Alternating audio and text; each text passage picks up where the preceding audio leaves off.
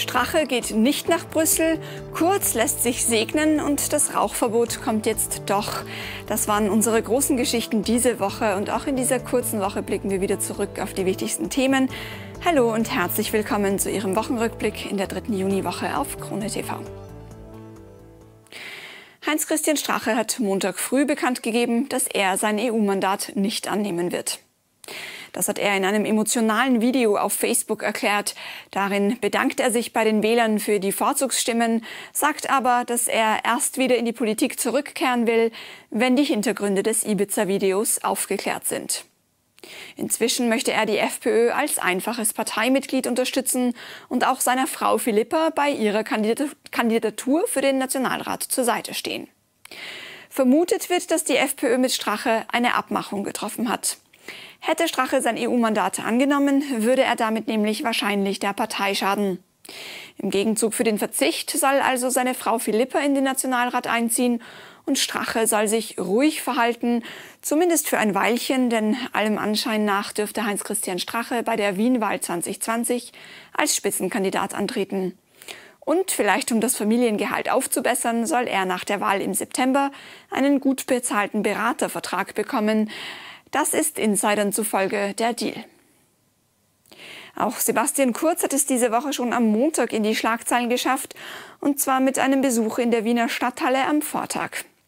Dort ging das Finale des religiösen Awakening Europe Events über die Bühne, an dem mehr als 10.000 junge Erwachsene aus der katholischen, der evangelischen und verschiedenen Freikirchen teilgenommen haben. Der ÖVP-Chef wurde als Bühnengast vor versammelter Menschenmenge gesegnet.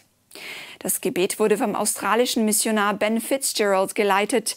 Der hat zum Ziel, Europa zurückzuerobern, denn Jesus höchstpersönlich soll ihm in einem Feld erschienen sein und ihm diesen Auftrag erteilt haben. Für den Auftritt hat Sebastian Kurz so einiges an Kritik geerntet. Manche sehen darin einen Missbrauch der Religion für Wahlkampfzwecke. Peter Pilz hat gemeint, es ist peinlich, wenn sich ein Altkanzler an fundamentalistische religiöse Sekten anbietet, anbietet und für sich beten lässt. Auch FPÖ-Generalsekretär Christian Hafenecker hat von der Überschreitung einer klaren Grenze gesprochen. Die evangelische Kirche nennt das Segensgebet gar skandalös. Der Ex-Kanzler hat den Auftritt verteidigt. Er habe nichts Verwerfliches gesagt und vom Segensgebet sei auch er überrascht gewesen, so kurz. Möglicherweise, um, um von dem unüblichen Segensgebet abzulenken, hat ÖVP-Chef Sebastian Kurz Montag früh überraschend zu einer Pressekonferenz geladen. Der Anlass ein angeblicher Fälschungsskandal. Die ÖVP sei von einem zunächst ungenannten Medium mit angeblichen E-Mails zum Ibiza-Skandal konfrontiert worden. Diese seien aber gefälscht. Über den Inhalt der E-Mails hüllt die ÖVP sich in Schweigen. Sie würden aber andeuten, dass die ÖVP bereits lange zuvor von der Ibiza-Affäre gewusst hat. Erst später kam heraus, dass es sich bei dem Medium um den umstrittenen Blog EU-Infothek gehandelt hat. Die FPÖ hat verlangt, dass die Affäre gründlich untersucht wird. Seit mehr als einem Vierteljahrhundert ringt Österreich um eine rauchfreie Gastronomie. Ein allgemeines Rauchverbot in der Gastronomie wäre eigentlich bereits am 1. Mai 2018 in Kraft getreten. Ein entsprechendes Gesetz wurde damals aber von der ÖVP-FPÖ-Regierung gekippt. Die Wiener Landesregierung hat dann also einen Antrag an den Verfassungsgerichtshof gestellt, er möge die Rücknahme des Rauchverbots verhindern. Am Dienstag dieser Woche hat der Verfassungsgerichtshof diesen Antrag jetzt abgewiesen.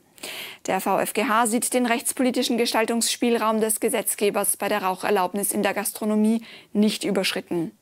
Die ÖVP will aber trotzdem, dass das Rauchverbot in der Version eingeführt wird, die schon ursprünglich 2015 geplant war. Das hat der Parlamentsclub am Mittwoch mitgeteilt. Somit sind sich also alle Parteien außer der FPÖ einig, das Rauchverbot in der Gastronomie sollte mit 1. November 2019 schlagend werden. Ebenfalls am Dienstag hat der Europäische Gerichtshof die deutsche Ausländermaut gekippt.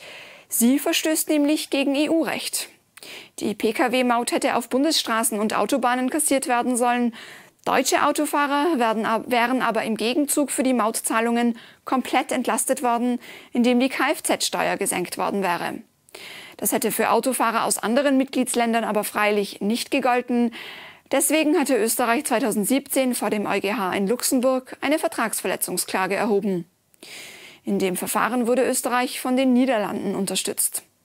Jetzt haben die EU-Richter festgehalten, die Abgabe ist diskriminierend, da ihre wirtschaftliche Last praktisch ausschließlich auf den Haltern und Fahrern von in anderen Mitgliedstaaten zugelassenen Fahrzeugen liegt. Und am Mittwoch ist es in Graz zu mehreren Brandanschlägen gekommen, und zwar im Grazer Rathaus, im Bezirksgericht Graz West und bei der Bezirkshauptmannschaft Graz Umgebung. Ein Mann dürfte brennbare Flüssigkeit versprüht und diese dann in Brand gesetzt haben. Der Verdächtige wurde in der Nähe des Bahnhofs geschnappt. Es handelt sich um einen 45 Jahre alten Iraker, der im Bezirk Graz Umgebung wohnt. Das waren die großen Stories diese Woche und damit wünsche ich Ihnen auch schon ein wunderschönes Wochenende. Ich freue mich, dass Sie bei uns sind.